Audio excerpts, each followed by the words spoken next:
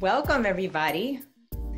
I am so pleased to be part of this very special installment of our Ready to Learn series, which is UnboundEd's opportunity to speak directly to all the members of our educational community about your issues of greatest concern and importance. I extend this welcome on behalf of all of the staff at UnboundEd and our CEO, Lacey Robinson. My name is Gail Perry Ryder. I'm the Senior Director at UnboundEd of Research and Design. And you might remember our previous ELA and math focused panel event. Well, today's program is our very first Leadership Power Hour. And we're going to focus on the expressed ideas and issues brought to us by our school and district and central office leaders all across the country. So, considering the conditions and constraints that students and families are under right now, educators and leaders are under right now, you can imagine all of the things that we're hearing about constantly from, from our constituents and thinking about with you. So today we hope to leave you with some good ideas and some information, but also definitely some inspiration. Thank you for joining us. I have the privilege of moderating this discussion between two leaders who between them bring four decades of combined educational leadership experience in schools, districts, and nonprofit organizations. We're going to focus particular attention today on their decades of work as school building leaders who led systems and teams through the challenges that are built into those roles already and have some expertise about doing that even within the context of challenging times. So this is going to be good. We're right now in the middle of the worst public health crisis we've faced in this generation, and yet are seeing a resurfacing of some familiar simmering problems of racism and state violence. So, our nation's students and schools, as always, are smack in the middle of all of it. System leaders are having to address new problems and at the same time come up with different solutions for some of the same problems. Our community members are telling us all about these and looking for support. So today we hope to be able to give you some of that. I'd like to introduce our two esteemed panelists. First is Lakisha Covert. Hi, Lakisha. Lakisha has a career spanning over 20 years as a K through 5 teacher, academic dean, and principal in Maryland, DC, and Virginia. She's certified in mentoring school leaders and coaches and builds professional learning opportunities for them all while being a doctoral candidate who is investigating leadership styles and their roles in creating mindful schools. She's designed content and practice sessions for schools and district leaders with an emphasis on achieving equity and standards instruction and effective implementation strategies. She's won numerous awards and attributes her passion for this all to her personal and professional background in education. She used to work at New Leaders previously, facilitating across the country on various topics related to leadership, but currently, we are fortunate enough to have her bring all of this to bear on her role as executive director of our Standards Institute, which most of you know as our most well-known signature offering for teachers and leaders. So Lakisha, thank you for participating today. Thank we you. also have Andrea Hancock, who is also a career educator with work spanning over 20 years serving Baltimore City Public Schools, the district where she proudly hails and was educated in her formative years. She too has served as an elementary school teacher, instructional coach, principal, and eventually a district administrator who supervised principals and instructional leaders across a network of pre-K through eight schools. Formerly, she led the Baltimore Division of Emerging Leaders program, the Emerging Leaders program at New Leaders, and she served as an advisor for the Transforming Teams program. She's also the author of the recent blog article on adaptive leadership that published by UnboundEd recently. And in it are some really critically important lessons about the nature of leadership when embedded inside of a complex system, i.e., a school. She holds a Master of Arts in Education from the University of Maryland at Baltimore County. And she's currently delivering all of her experience and knowledge here at UnboundEd as Deputy Chief Academic Officer, where she contributes to our thought leadership, she manages our external partnerships and ELA and math team's development of content work. Thank you, Andrea, for coming. Thank you, Gail. So I thought that it would be interesting to start this conversation by putting forward to both of you some quotes to consider from leaders and scholars in leadership out there. Um, so I ask that you would just share your thoughts on the statement that I'm going to give you and the relevance you think it has for leaders today in this context and drawing from your own experience um, leading a school. Is that okay with you? Yeah, sure. okay. So, Andrea, why don't you go first? And Joel Zollner says to us there is no recipe for successful leadership.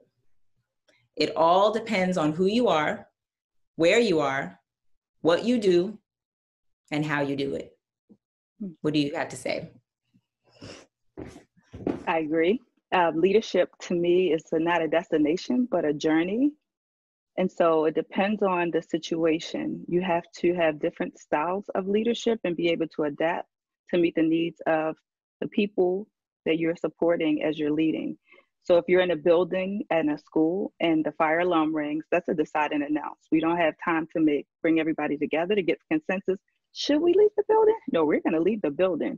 Versus a situation where we're trying to adopt a curriculum where we want consensus and input, not only from the people within our building, but our stakeholders as parents, communities, even the students that will, the curriculum will serve. So I agree. It is about leadership is about making decisions along the way and empowering people also on your team to make decisions, but with delegation constraints so that people have an opportunity to grow in their leadership as you continue to push them forward and build their capacity. So leadership's not static; uh, it's it's fluid and it's adaptive. Uh, do you think that those are the leaders that have the most success during crisis? I do. I do. I really believe that if you are a leader during a crisis, you have to be able, as a as a principal, when I was in a school building, I remember making upwards of hundreds of decisions within an hour. On the moment, you have to be able to adjust and respond to whatever is occurring so that you can make sure that you're delivering the best opportunity at that particular time. Did we always get it right? Absolutely not. And I talk a little bit about that in the blog on times when you have the best intent, but the impact doesn't quite land in the same way. The leaders who are stagnant are the leaders who are rigid. And when you don't have an opportunity to change and build different perspective, you stay in the status quo. Wow. Let's just talk for a second about that point about people who are rigid. Um, well what if you do if if that's your leadership style it's autocratic it's it's managing in one way top down and it has worked so to speak for a system up until the point of crisis um, what do you recommend for people working with a leader like that who see opportunity who see possibility in the crisis who have hope for perhaps a change that can meet this the crisis where where people need the most help but the leader um, isn't the one that sees it that way. Perhaps the people around the leader do. How do you uh, recommend that people would work around a leader in a situation like that where the leader themselves may not be the one who's able to be flexible or or be open or be fluid absolutely i think the data tells the story so as a part of a collective community if you want to bring something to the leader make sure that you have the information that you need to support your claim this is an opportunity for people to manage up and to give impact in a situation in which the leader may not see it. We all have blind spots. So even a rigid leader, if presented with the appropriate information in an appropriate way, may be willing to change their lens. And I really want to emphasize the appropriate way. A lot of times we have great ideas, but the way in which they come across may not be most desirable, and that will shut the leader who is rigid down instantly. Um, so it's an opportunity to manage up. Collectivism, greater number and voices helps people to understand the importance, and especially in a crisis, if the leader's not yielding the result he or she desires, this may be a wonderful time to get them to think of things in a different way. Well, thank you for that. That's uh, going to, I think, help a lot of people know what directions to take before they attack solutions. First, how to work within the group that they have and within the framework. Thank you. Sure. Lakisha, you're up. And for you, I'd like you to respond to this quote from Ursula Burns. I realized I was more convincing to myself and to the people who were listening when I actually said what I thought versus what I thought people wanted to hear me say. Thoughts? I love what you said. I'm more convincing to myself. That's interesting. I mean, when when you were reading, I immediately thought about like actively listening. Like a lot of leaders are wondering like what to do in the time of crisis. The first thing you need to do is listen. Um, sometimes coming off with a solution sounds like you're not listening. So, and you're only listening to yourself. So it's very important as a leader that you actively listen and you listen authentically. A lot of times as leaders, we encounter so many people all day, every day, and some of them are quick and some of them are not so quick, but we have to um, honor each encounter honor each encounter and listen and, and use it as um, an assessment of what needs to happen, what is happening, and what you can do to influence what's happening. So I would say um, a lot of times uh, leaders get uh, overwhelmed. There's a lot of compliance things that need to happen. Um, there's there's so much going on in a school at one time that sometimes it does. It gets really hard to really listen to your parents or listen to your teachers or when, when you're trying to make sure students um, have what they need. But um, just change your mindset about it um, and and know that when you do listen to your your community, that is helping your students. He brought up so many relevant points. I mean, compliance versus the idea of compassion. Um, and the constituents we have that have asked about that quite a bit, with a particular emphasis on how do you know who to prioritize listening to when all of the voices are coming directly for you. The person who is supposedly in charge and supposed to be able to make decisions on the fly, tough decisions, painful decisions, and yet everybody wants you to make them and everybody's interests may be competing. How in the world do you decide which voices and how and when to prioritize particularly when there's a crisis when you're in the midst of a crisis? Yeah. Well, well some leaders are not going to like what i'm about to say but everybody's a priority. You are the leader of a full community and you are looked upon as the person of highest influence just because of your formal position so everybody's high priority. The difference is, is that you have to filter through those priorities. So who can I delegate this to? Um, can I defer this for a moment? Can, can I um, deal with this right now? So deal, defer, and delegate. So when it comes in, I listen, I prioritize it, but then I take and filter it out because you're right. I'm only one person. As a leader, I cannot handle anything. But guess what? My community expects me to. And and they should because that is part of leadership. And so what i would say is make everybody a priority but know how to prioritize things yourself and who to delegate to who to, when to defer something and when to deal with that thing immediately. I think that is a skill that has to be developed over time. But once that skill is developed, it will look like you're making everybody a priority. And that is very important to your community for them to feel safe, for them to feel, protected, and for them to feel like they have some sense of order. I think that this is going to be an interesting food for thought as far as a, maybe even a controversial one, thinking about the responsibility to answer to everyone that everyone is a priority. So I appreciate the way that you broke it down because you have to listen, but you need to understand that you have to deal, defer, and delegate. That's part of leadership. And there's really no way around it, is what I'm hearing from you. Um, Gail, can I add to that? Please do, yes. Keisha, I love the 3D concept. Um, it made me think about how when you decide what the priority is, I've seen a lot of leaders go to the people who have the biggest voice, the squeaky wheel are the persons who are taken care of first. And that's not necessarily what we want to do in leadership. We want to make sure that everybody has a say, and especially those people who don't.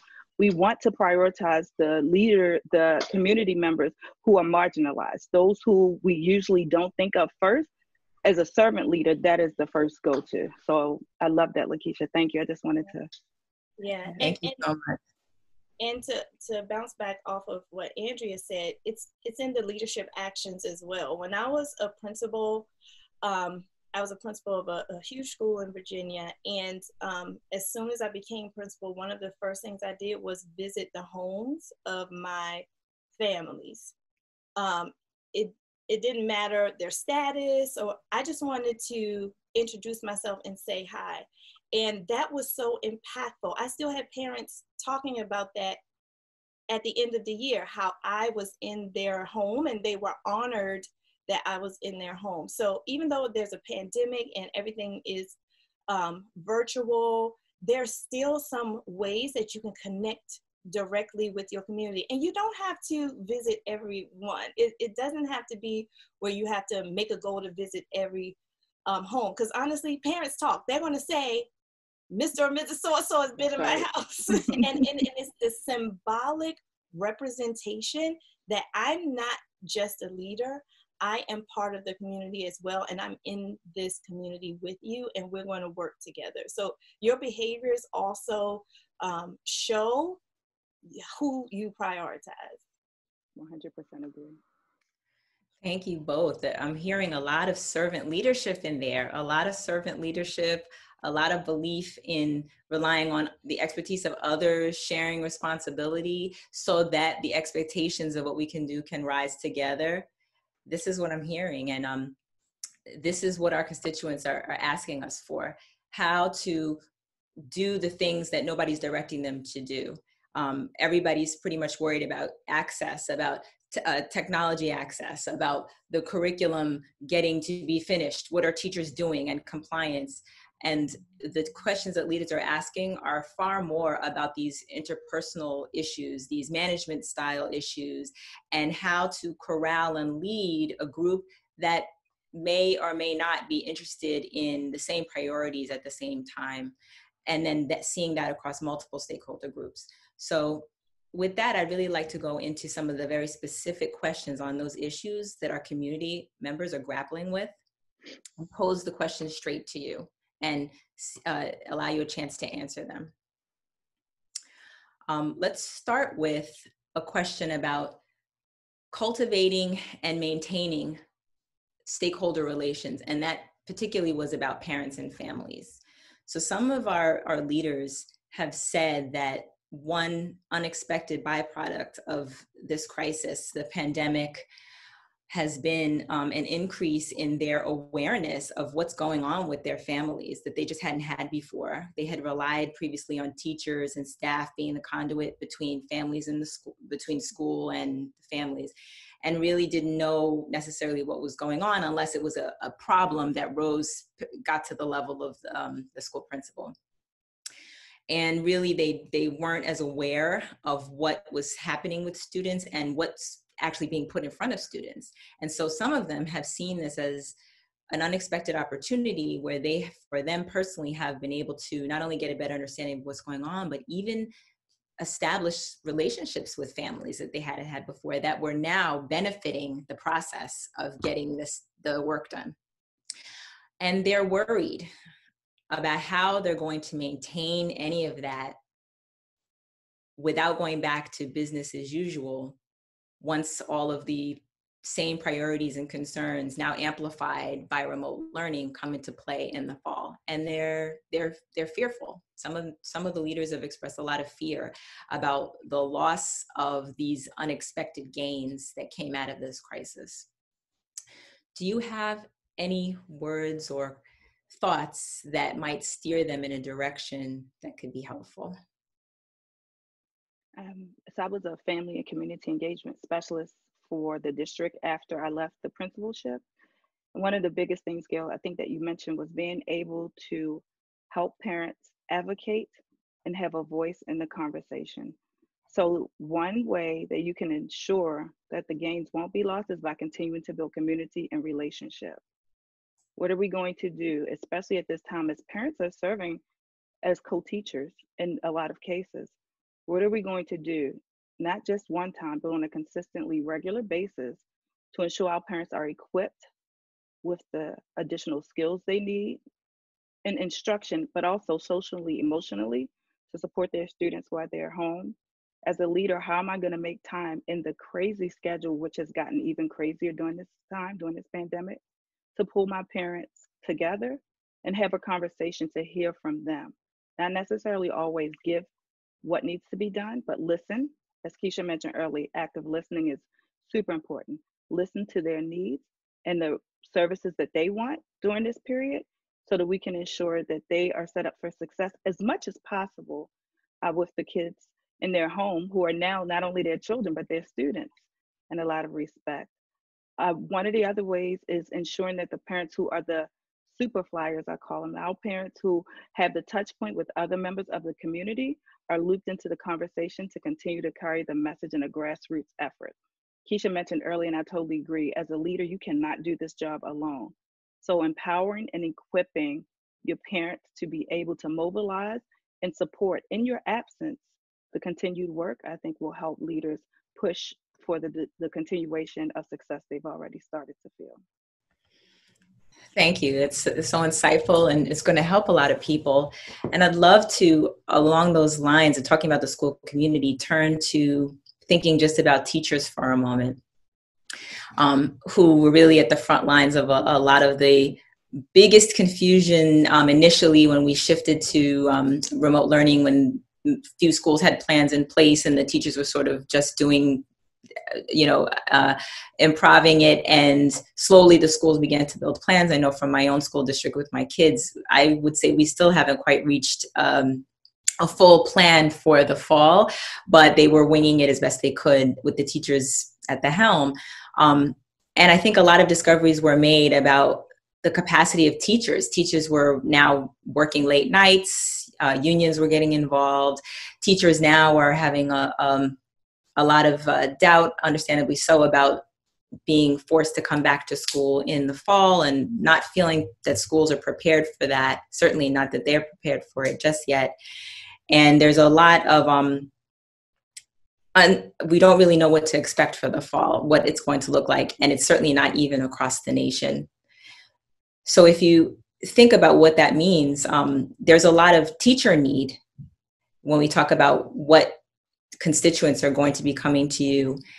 And I wonder if you can weigh in on the issue of trauma caused by COVID, caused by the overt racism and hate, its impact on the school community and instruction, as far as your teachers, your teaching staff, instructional staff are concerned, their various needs, fears, and expectations as well. How do you, as a leader, um, think about maintaining a culture of equity and rigor under this virtual spotlight with teachers who really have their own particular sets of concerns and fears around all of it. Do you have any thoughts for us or some wisdom? Because I think that's a big concern for the leaders in our community. That's such a great question, Gail. I think one of the things that we have to do is let the teachers that we support know that we are actually there with them.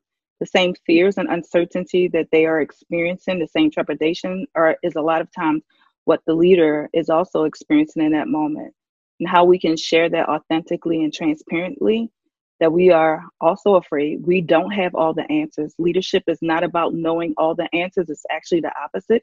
It's not knowing the answers, but knowing how to blaze the trail to get people where they need to be so that the answers can be fulfilled. So I think having open and honest conversations, making space to acknowledge some of the shortcomings, because this is a pandemic, two pandemics really, but the inequities that have, pervade, have prevailed in education have been here since the beginning of education, especially for people of color. So naming that up front and having a courageous conversation, if you will, about what that looks like for us as we educate students in a virtual environment, it is even harder to ensure our kids are getting what they need. They're able to stay online, build up their stamina for this type of instruction. How do we provide small groups?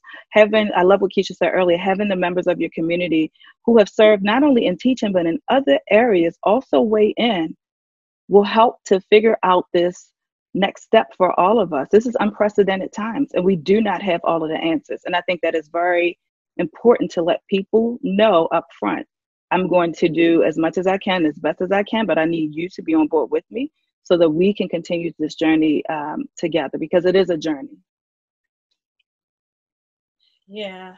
Ooh, this this these two pandemics, the, mm-hmm. the, health pandemic and the uh, racism pandemic, have been really taxing on all of our um, teachers and um, our, our CEO, she just did a keynote at our virtual summit and just shameless plug. we have virtual summit. It is amazing. It's for all educators. It's virtual, and um, our next one is in August. So go to our website. But um, her, in her keynote, she talked about eight the eight minutes that George Floyd was under the knee of a white police officer, and she said eight minutes, and I was like, what What does that symbolize? Why is she saying that when it comes to education? and it's it symbolizes the urgency. That's one thing that I never understood, even when I was a principal, is the lack of urgency for equity and um, anti-racist education for our kids. There's a lack of urgency for it. And so one thing that this these two pandemics have done is put that urgency in our face. Like you can't you can't hide from it. Like the urgency is there. And we have to recognize that it's not just there for our students and our parents, it's there for our teachers. Our teachers need to experience anti racism from their leaders. They need to experience the urgency from their leaders that they care about them and that, you know, you're not looking at me as just a, a means to your end or, or, or as a machine that you can just manipulate. So I would say to leaders, yes, compliance is good. Yes, um, policy, procedures, schooling has to happen, curriculum is important. Yes, yes, absolutely. But when do you just take the time to just have a conversation with your teachers and say, How mm-hmm. are y'all feeling? Mm-hmm. when do you do it? When do you do it? They're people, they're human, they have so many, many things going on outside of their job you have to care about your teachers. So many principals forget that they were teachers too. Um, if you remember being a teacher and you remember being under a principal, what were your experiences? Probably some of the teachers you have are probably experienced some of those experiences um, themselves. So I would say, as a leader, to deal with what's happening in our society, um, is to also know that it's a microcosm of what's happening in your school. And mm-hmm. you have to do um, like i said before you have to listen but also you have to set up the structure so that teachers can have an opportunity to voice their opinion and you can have an opportunity to advocate for them to help them to support them. Create those opportunities. Everything is not about uh, schooling because people come first people come first, and your teachers should come first because they're the ones, they're the boots on the ground working with the students. Another point, Keish, that I was thinking about when you said that um, with the George Floyd incident and Lacey Robinson's keynote around eight. Eight in a spiritual realm is a number for new beginnings. Mm. So it's an opportunity for us to have a new beginning as leaders are we equipping our teachers with the right materials? Because you're right in a virtual environment we want to make sure we're set up for success but it can't be business as usual as you said earlier.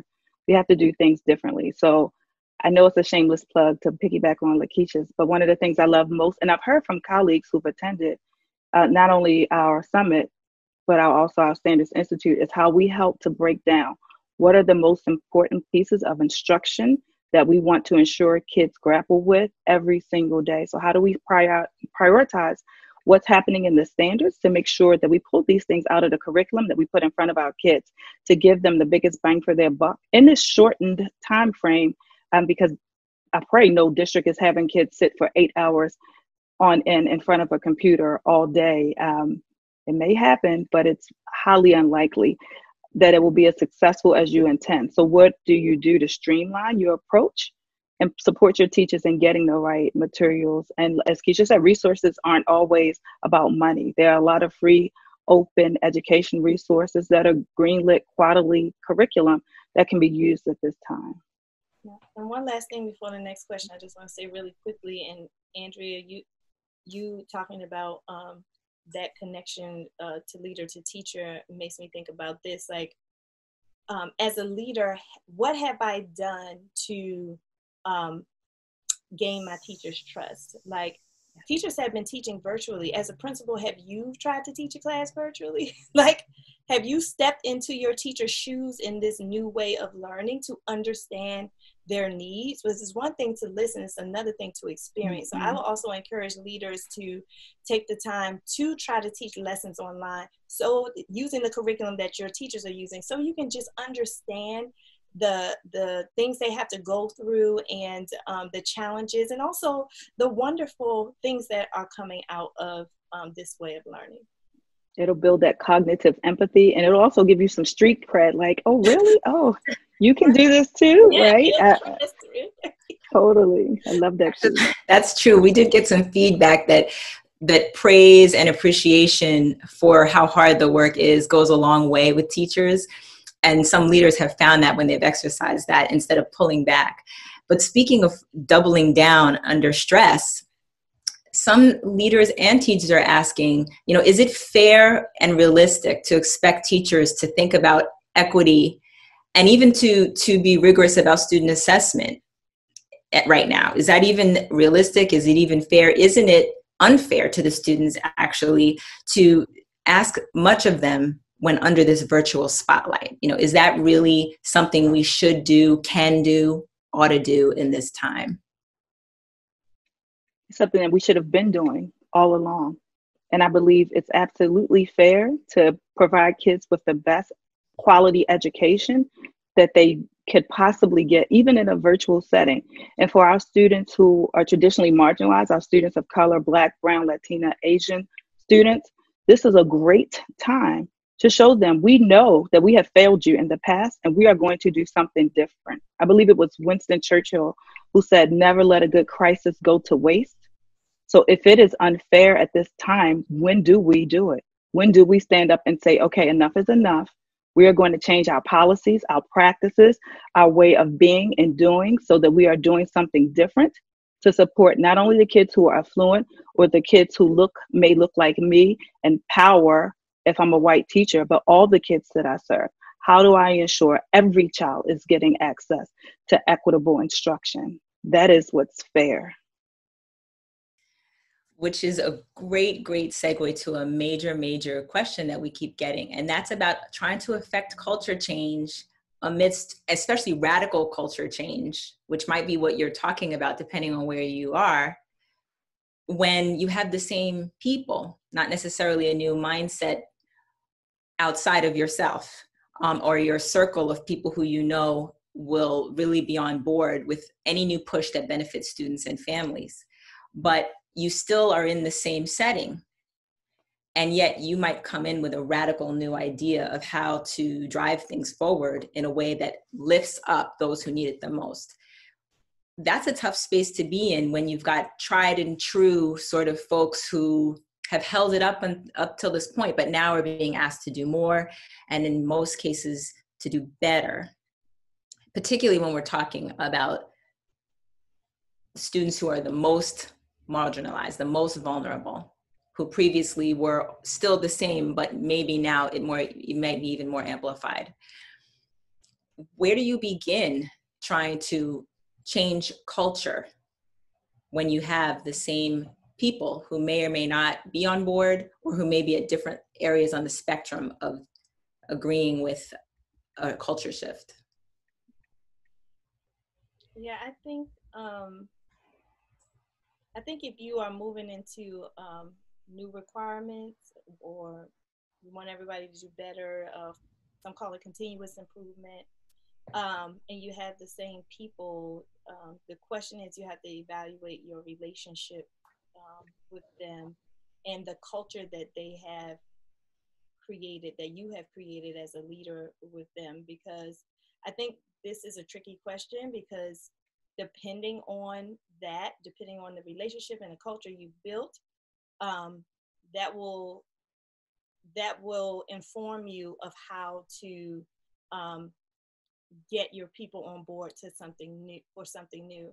Um, I was a principal right when Common Core first came out, and I was the only principal in my district who was asked to go with central office to New York to learn about um, Common Core. Literally, when it, it first came out, no other principal in my district even knew what it was. And so when I uh, came back from that trip, my sense of urgency was heightened, and I did two things. Um, the first thing I did was um, to call a forum of other principals in my district and talk about what I've learned just so they can be informed. and then um, another thing I did internally with my own teachers was to present them with this and then ask them what they thought. Like I presented it as as something I needed help. Like as as leaders, we have to humble ourselves and say, guess what? To our staff, like, I need your help. Um, something new is coming. This is what it is. How can and and we know this is good for our students. How can we work together to do this? I don't know. Let's just throw some thoughts out there. And for some leaders, that's very scary, right? you don't know what your teachers are going to say or how they're going to react or, or if they're going to be angry. But if you take a humbling stance with anything coming new, I think that is the beginning of trying to um, trying to get the people that are already with you on board with something new. And relationship is so important. Um, if I have a relationship with my teachers, it really doesn't matter what I bring with them. They're going to be in it with me. We're going to huddle, we're going to figure it out, and we're going to do it. So if you do not have that relationship with um, some of your people on on your staff that's one thing. Um, i think that's different when you have like a few people who are not on board like that's different. But if you have a whole school that's not on board with something new um, that is going to be a, a, very big challenge for you because you do have to think about like quick wins. Like what is a quick win that i could give my staff around this that can um, get the ball rolling to cause them to trust that trust the process and trust that we're um, going through this? What are some things we can do in professional development? Maybe some teamwork some team activity maybe some um, troubleshooting activities that we can do to together. And your visibility in these times are so important. So attend all of those collaborative planning meetings. Um, don't let it that's your priority. Attend attend the profession I, have known as a, a, principal mentor so many principals who never attend collaborative planning meetings. I think that's where the that's where the magic happens. So you want to be in those meetings. You want to um, meet with your teachers one-on-one because you want to know what each and every person um, has to say about the new idea. So you have to step in and, and be very visible and very humble and um, work together with your teachers when it comes to introducing something new to your staff who um, has already probably been been traumatized by new stuff over and over again. But as long as they trust you as the leader, they'll be willing to to go through whatever. Keisha, you were explaining, I was sitting here like, oh, I did that as a principal. I hope some of my former staff actually see this video so they can validate, like, oh yeah, we did that, especially around the attending the collaborative planning. What you're mm-hmm. naming, the practices that Lakisha is using and naming, reminds me of my leadership Bible, if you will. Um, when I was a part of the cohort for New Leaders Principle, we I lived and breathed by the Leadership Challenge by Kouzes and Posner and their five principles. Um, impressed. Did you remember that much? but those principles are exactly the practices that you just named. And so, if you are a leader and you are looking for a way to build your skill set, um, hopefully not in isolation, like Keisha said, you have a cohort or community of other principals where you can lean on. If you want some great resources that are timeless, uh, please visit that book, The Leadership Challenge, because it will give you application and practice and ways that you can use to mobilize the community of teachers who may have been there previously um, but may not be on board. And I'll just give one more example. Um, I think that uh, goes along with what Lakisha was sharing, is doing a skill will assessment.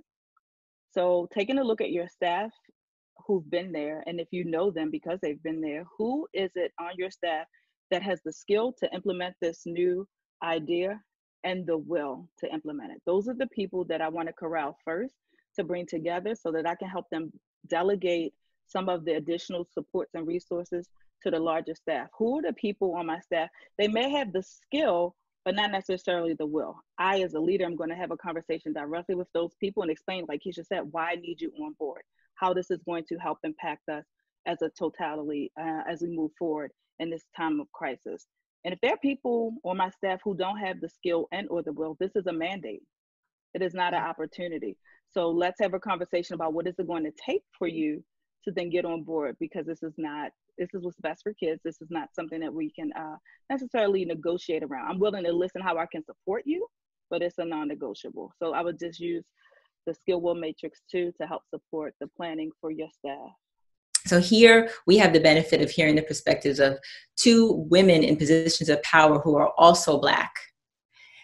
And that certainly has got to implicate and have implications for your approach, um, what it brings to bear on what you know and believe, and also how you enact what you do it's a very important lens. I mean, it's a it's a lens that is personal for me, but also for a host of leaders in our community as they grapple with sometimes for the first time the problem of having what's going on outside the school not be able to for us to pretend that it's not also uh, happening in the school that it's not also reflected there because school is not in a vacuum. It never has been but right now no one can ignore it as easily. So from your perspective as Black women who lead, what are some of the ways that your identity um, and the racial identity of any leader right now, since we have leaders of all kinds, but what are some of the, the things that we leaders, white leaders, leaders of color, women leaders, men leaders, leaders who are in positions of, of uh, power right now and influence over many stakeholders who have different needs and different priorities. But can you speak to the experience that you've had where that has come to bear on your decision making and has helped perhaps you know had other implications for what you were trying to do and what you would advise leaders on how to handle matters of race now in their buildings can come up at any time and they are coming up.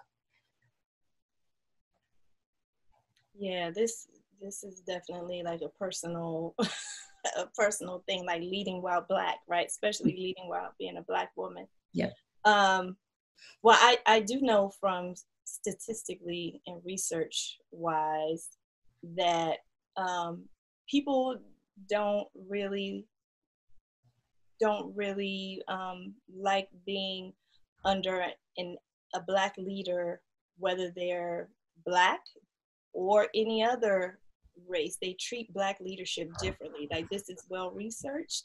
A Black leader is going to be mistrusted a lot. Um, they're going to be questioned a lot, um, and and it comes from both Black people and uh, people from other races. So it's not just um, it's it's a problem within our community and outside of our community. The lack of um, trust and respect for a black leader. So I, I just want to say that. And, um, but I also want to say that um, just because that is true, it doesn't mean that it's impossible. Um, I think as a black leader, it was my, it's my responsibility to um, ensure that I advocate not just for my community, but for myself. Um, when I felt um, you know something wasn't right to voice my opinion to um, continue the conversation um, but but being being a black leader can be exhausting to be honest it could be an exhausting thing and that's why um, you know i always encourage leaders to do things to um, protect their mental and emotional health because sometimes it really does um, take a toll on on what you do. But my why is greater than all of that as as a black leader like my why is greater than all of those challenges. Like my passion for children is greater than all of those challenges. And so i have to constantly go back to my why in order to continue to fight for justice for my community and to advocate for myself and take um, some risks that may um, have me be perceived as some type of way. So being a, a, black leader is challenging but it's also rewarding. I remember as a principal um, being being instrumental in getting free breakfast for my entire school and not just for the kids. Like teachers could eat free breakfast and everything. And i remember the first day that i was able to get that for my school i started crying. I started crying because i could remember all the previous years where i had students cry because they were hungry. They couldn't concentrate in class because they were hungry Um, so to have everybody eat and be ready to learn was monumental for me. So I hold on to those memories and I hold on to um, that that feeling that I had something to do with bettering my community to be the best leader that I can be despite any of those challenges. What you said about being a black leader and the exhaustion is so real. How we continue to maintain and push forward, even in the face of a crisis like what we're experiencing, is key. And now was it was a different crisis um, when I was a principal. It was a crisis of getting kids educated in school, off the streets, out of gangs.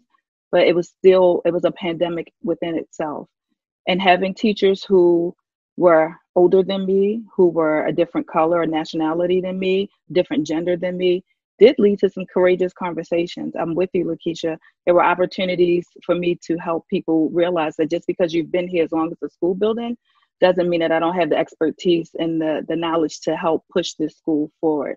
So I think that comes through time and consistency.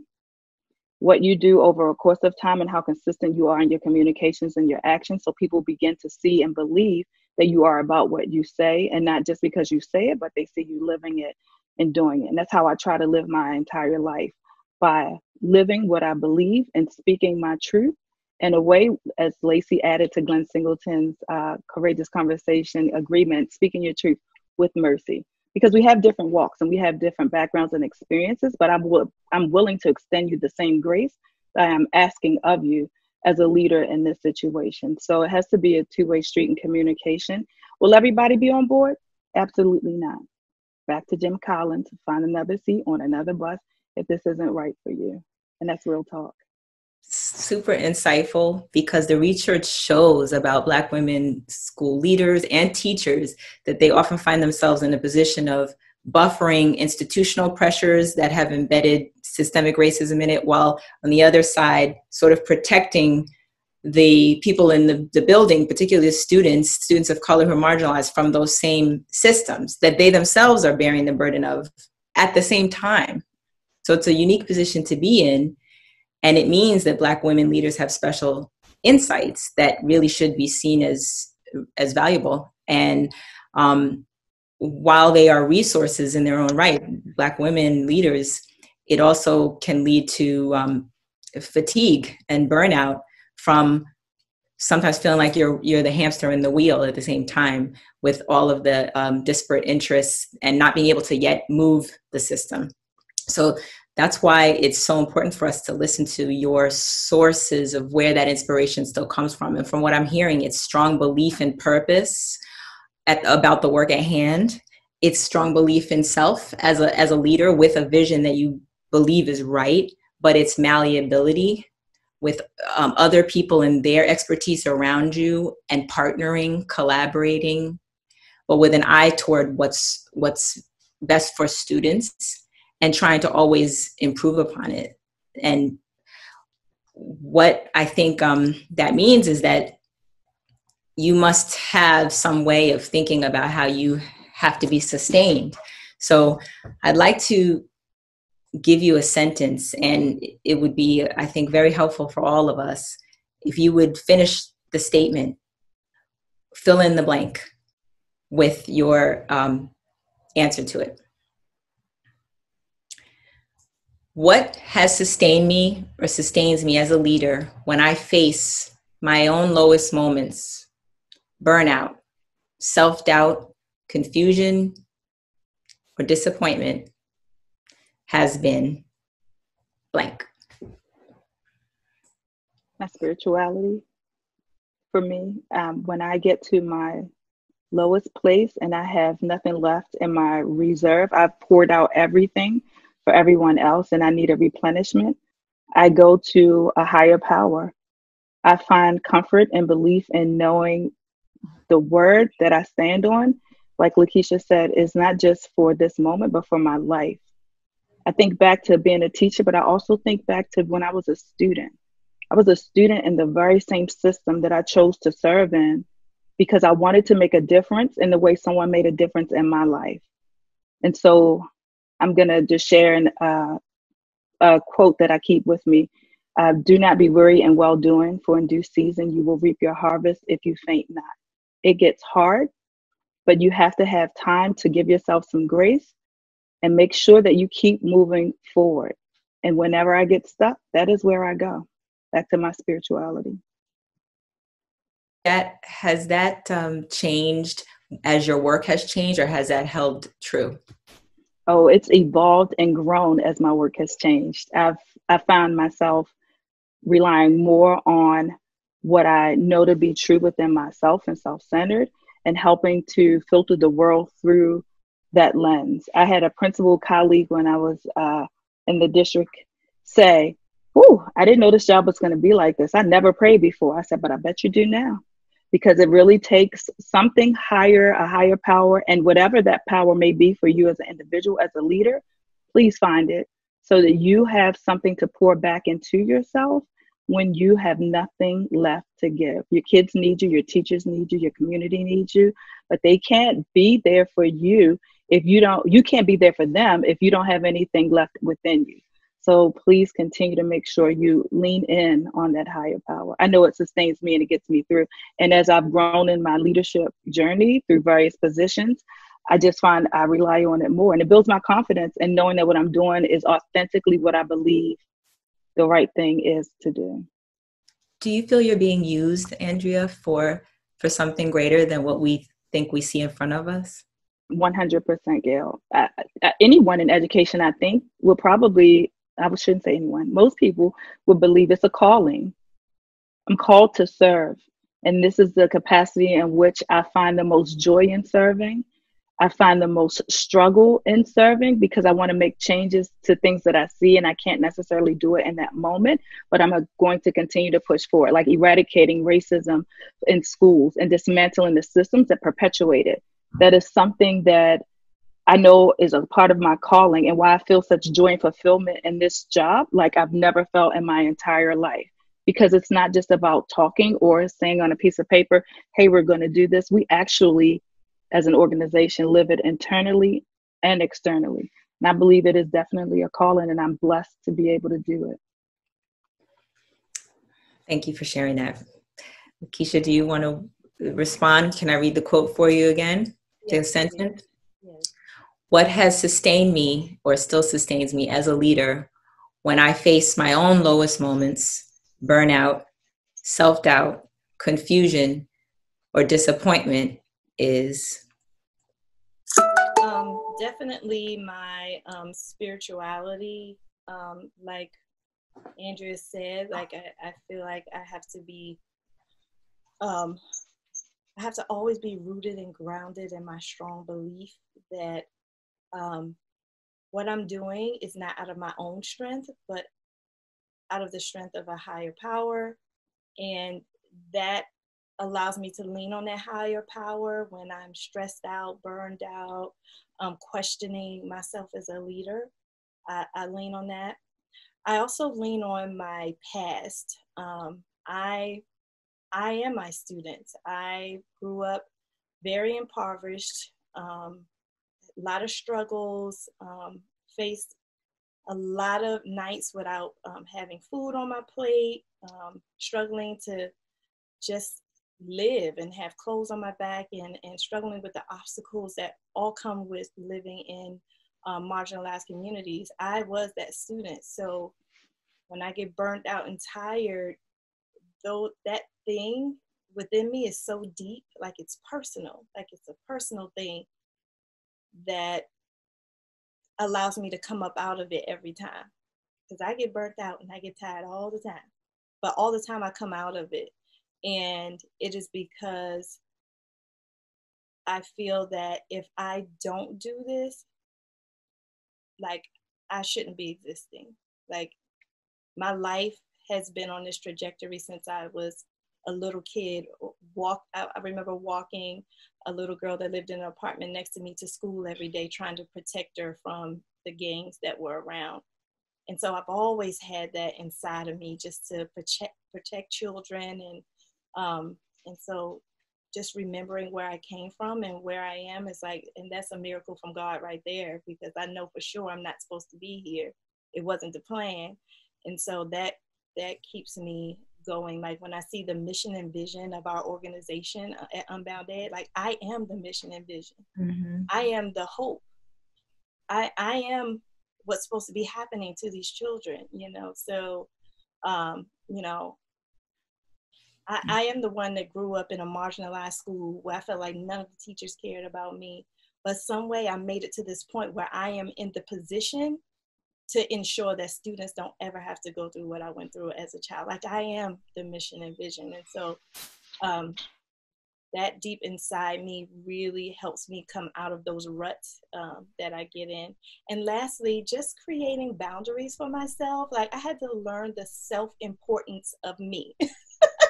being mm-hmm. like, because I'm not just a leader, I'm like a mom, I'm a wife, I am a sister, I am a daughter, and I get pulled on in my personal life um, because leadership doesn't stop at school. You, mm-hmm. most leaders that are leaders at school, they're leaders at home too. And so, how do you protect yourself? You create boundaries. You create rooms like this. This is at my daughter's room, okay? This is my room. This is my space. Nobody comes in here. So, leaders, you are working from home. you are working from home, you're constantly on calls and constantly on computers. I would encourage you to create a boundary in your home where you can just have a, a, a space to yourself. Create it. I don't care if it's a little corner, just create a space for yourself because mentally it becomes taxing. Um, during this pandemic, even though I'm home more, it's like I'm working more. I don't know how that happened. I'm home more working more but that's how it feels. And so you do need like a look away moment. You need a place where you can go to meditate a place where you can go to pray and and and center yourself. You need outlets. You need to be able to join groups. Like i have joined so many facebook groups since i've been home just trying to connect with people. And so i would say to leaders like yes school is your life but you are you are so much more than your school. You are who you are. And so nurture that person so that when you get burnt out, so that when you get tired, that you will have a place of release. You all have a lot to bring to advise all leaders, but I want to ask on behalf of some of the the white leaders who um, are grappling with what to talk about, particularly when they have never addressed issues of race or racism before and haven't expected teachers to. Now they're being asked specifically to talk explicitly about the relationship of race and racism to their work, the work that happens in the schools, and also its impact on the relationships in the schools teachers, students, parents, teachers, administrators, and um, teachers. It's it's alive and well and always has been, but now people are being asked to speak directly about it. And some of our white leaders are reaching out saying, I don't know even how to begin a, such a conversation and i'm afraid am i the one? Should i? And should i be the one to engage in a conversation about george floyd? Should i even say how i feel? Do i have a right to feel anything? You know what is it that where do i belong in this debate? Should i step back? Should what do i do? Do you have any insights yes I, i've actually said this to a whole school system one time is that as a black person i want to hear the white voice it is um, when there's a there's a silence that happens with white people when they have to um, face tough conversations like this and they just go quiet. And i just want to implore that we want to hear your voice even if you're asking a question. Some of the some of the most great courageous conversations have come out of a white person saying lakisha how can how am i supposed to approach this with you? Like i I, I don't know what to do. Like, but I need to hear your voice to sit and be silent and never talk about it. Never say George Floyd's name out of your mouth as a white person sends a strong message to me as a black person that you don't care enough to take the risk to say his name out your mouth. And so I feel strongly that as a white person, you have to be courageous if you're in a school full of people of color, that you not only listen, but also talk. Start with questioning. If you don't know what to say, everybody can start with a question. Start with a question or start with I statements like, I feel horrible. Like start with an I statement, but don't just sit there and be quiet because that is to me the most offensive thing that you can do. And the, the best thing you can do is, is voice your opinion and, and stand up. Um, when, when I had, um, I, I faced a, a racist inst- incident myself one time. And when I had a white person stand up and advocate for me, I've never had that before. That was a new experience, but it felt so darn good. it's like, I don't have to do it anymore. I'm so tired of doing it. And I have my white, you know, friend, I call them friend now, friend standing up for me. Oh, that means so much. So to all of our white advocates, partners, friends, like Rihanna said, I don't know if anybody heard her, but she was like, ask your friends to pull up. like to my white friends, to my white colleagues, to my white leaders, pull up, pull up and say something. That's what we need as people of color. That's what we need. Andrea. I'm with you. No, Lakisha, you, you said it all. I'm totally in agreement with you because if you are silent, then you're in agreement with the current situation and the status quo. And that if you really support the mission and vision, you will stand up and say that, you know, this is not right. We have to do something different. Racism is real. How do we help support the conversation? And a lot of times from some of my white colleagues and friends, I hear the conversations that they have with other white people, and they can say things to their white colleagues that wouldn't be received by me in support of the mission. So, to Lakisha's point, please stand up. Please do your best to say in an authentic way. You're going to make mistakes. You will not have all of the answers. Again, back to true leadership, but be transparent and let it be known up front. I'm going to mess up. I may not have all of the answers, but I am going to get some resources like Glenn Singleton's Courageous Conversations book and lean in on those four agreements. Find someone who you can have the conversation with across the aisle. A person, another person who is in your circle that is Black, that is Latina, that is uh, a person who is of a different age group, and, a, and like find people who are diverse and not necessarily fitting within your comfort um, or your circle. Expand your reach because if you don't, you'll say I'm for it and I'm about it, but your walk won't show it, and people will see it. And, and at UnboundEd, we have we do have a free resource called the Bias Toolkit that can help you start that conversation at your school. It's free. It's on the website. You can go there right now and, and download it. And that can be something like a tool or an anchor for you to start the conversation with um, your colleagues and friends as well. Absolutely. But as a white leader, please do not use the anti bias toolkit for your Black colleagues to lead. You are the leader. We need to have you at the helm of the conversation. Everybody wants to hear what you have to say. So please make sure you pray about it or whatever power you go to as a source and then do it in service of the kids that we all want to see grow and succeed. As you said earlier, it's the responsibility of the leader to prioritize everyone right? So this is this would be this is why we want to have that conversation. It is it is not just about what happens in the building. It's about your your space and what happens around it. There's so many elements going on that so many of us don't even really understand who are in your position you know who are not in your position. So thank you for your transparency and your openness about identity and belief and how that like it or not it plays into everything that we do so thank you so much for for sharing with us and teaching us today. Thank you. Thank you. Bye.